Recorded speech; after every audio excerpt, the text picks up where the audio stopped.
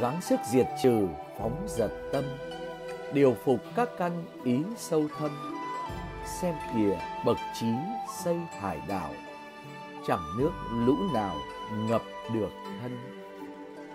Vào một ngày nọ, khi đức phật ngụ tại tịnh xá trúc lâm, có hai anh em, anh là đại phan thaka cùng với em là tiểu phan thaka thường theo ông nội đi nghe giảng pháp.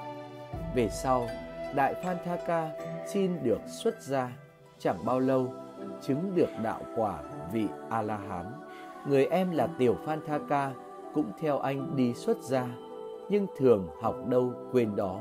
Nguyên nhân là vì trong nhiều kiếp về trước, thầy đã trêu chọc một vị tăng nhân, cho nên kiếp này phải nhận lấy quả báo, chậm hiểu mà mau quên. Người anh thấy như vậy nên rất thất vọng và cho rằng em mình thật sự không xứng đáng làm tỳ kheo trong tăng đoàn.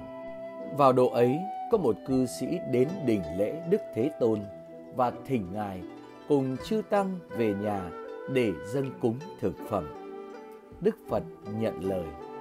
Sau đó, đại phan thaka là vị chịu trách nhiệm sắp xếp để chư tăng đi thụ trai. Trong danh sách, tất cả tăng chúng đều được mời, nhưng đại phan thaka lại loại bỏ tên của tiểu phan Tha Ca ra. Tiểu phan Tha Ca biết được tin ấy trong lòng buồn giàu vô hạn. Nghĩ mình thực chẳng xứng đáng, nên định hoàn tục trở về tại gia. Đức phật thấy được tâm ý đó của tiểu phan Tha Ca, mới gọi thầy đến. Đức phật lấy ra một cái khăn trắng, bảo thầy hãy cầm lấy và mặt hướng về phương đông, tay trả khăn miệng đọc hai tiếng, lau sạch. Xong rồi đức phật liền lên đường đi tới nhà cư sĩ.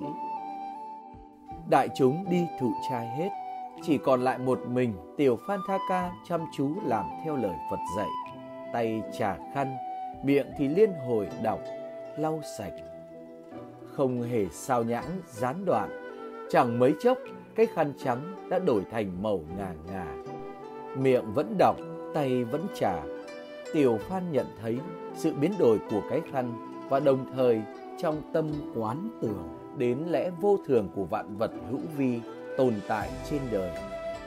Bấy giờ, Đức Phật từ nhà cư sĩ, Ngài dùng thần thông chiếu hào quang và thị hiện ngồi ngay trước mặt thầy.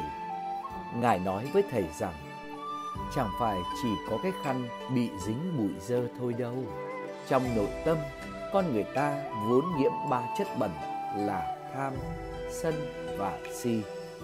Nếu như biết lau sạch ba chất dơ đó trong tâm, thì một vị tỳ kheo sẽ đạt được mục tiêu là chứng đắc quả A-la-hán. Tiểu Phan Tha Ca nghe lời Phật dạy, tiếp tục quán tưởng, gột rửa được chỗ u tối trong tâm trí, mà liền ngay sau đó chứng đắc quả vị A-la-hán. Vào lúc ấy, nơi nhà cư sĩ đang sửa soạn dâng thực phẩm lên Đức Phật và chư Tăng.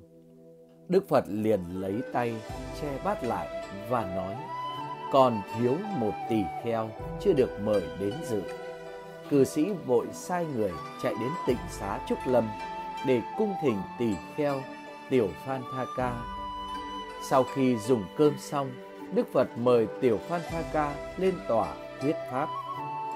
Chúng tăng hết sức ngạc nhiên khi thấy Tiểu Phan Tha Ca tại sao lại có thể thuyết pháp hay đến như vậy. Đức Phật liền thuật lại quá trình chuyên tâm tập luyện. Sau 2 giờ lau sạch một cách tinh cần khẩn thiết của Thầy, cho nên mới chứng đắc quả thánh một cách trọn vẹn.